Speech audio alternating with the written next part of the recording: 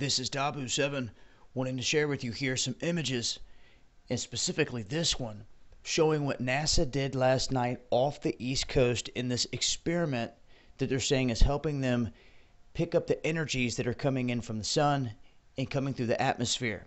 What they're doing is they are dropping chemical mixtures throughout the atmosphere, and they admit they are using things like barium that we find in chemtrails and they are dispersing them, trying to get different color effects in the sky.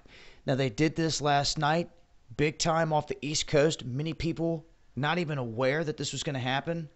And they walk outside and they see this in the skies. Now, it brings into question what else are they getting ready for? If they're doing things like this along these lines in pulling up different images in the sky and different colors and designs and things of that nature across a large area. What else can they do? This is when talk of Project Bluebeam comes into the fold.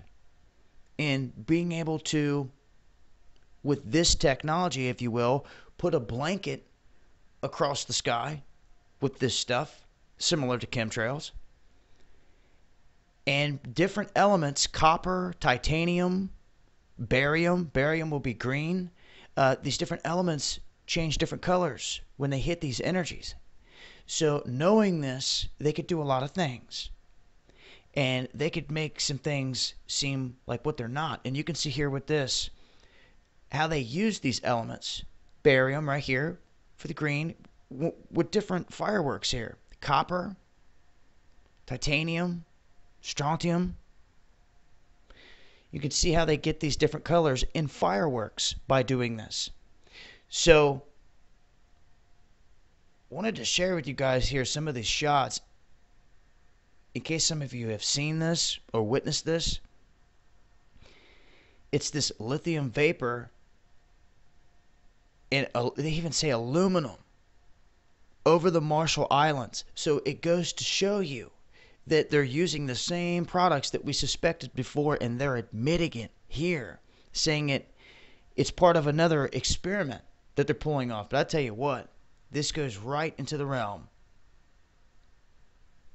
of Bluebeam. It's in starting to see things like this in the skies.